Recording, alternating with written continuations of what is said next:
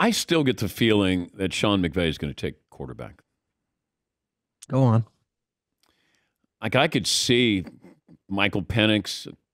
I don't know. It just feels like or Bo Nix. I, I, I don't know why. I but the thought doesn't go away that Sean's going to look at you know Matt's Matt's successor.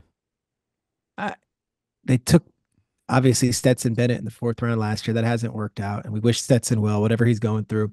I'm not sure all the details on it, but obviously he had some stuff last year, and then they've you know rotated around who is going to be the backup. They brought in Wentz. They had they had that going for a while.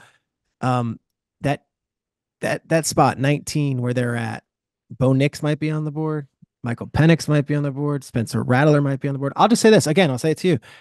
Sean McVay is not taking an inside linebacker at 19. Like he's an offensive wizard and he's never had the opportunity to draft a guy in the first round. If there is a stud wideout that slips, if there's a wideout that he likes, like if he likes Ladd McConkey, and I don't know if he does, but if he likes, you know, Ricky Pearsall, if, if he sees Keon Coleman, like I, I think Sean's gonna say to them, guys, I've never made a first round pick. I'm taking my guy. And if that's a quarterback, it'll be a quarterback. I, I think offense for the Rams. And you got me thinking there with the with the eventual successor to Matthew Stafford. I don't know, man. I love Penix.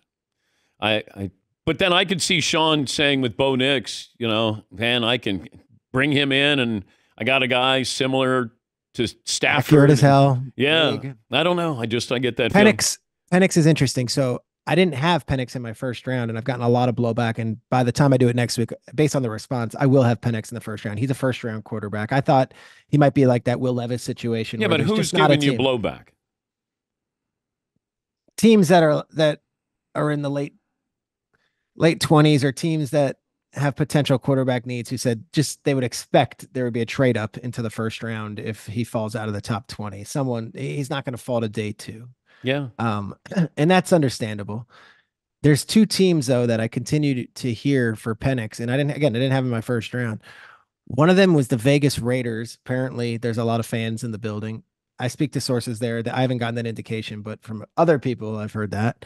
And then the other one is the Seattle Seahawks as a successor to Geno Smith. Obviously, the Washington connection, but also the offensive coordinator there knows Penix. So those are the two teams I was told for Penix, and I don't have him going anywhere in the first round. So it just shows how wildly different the thought process could be 10 days out.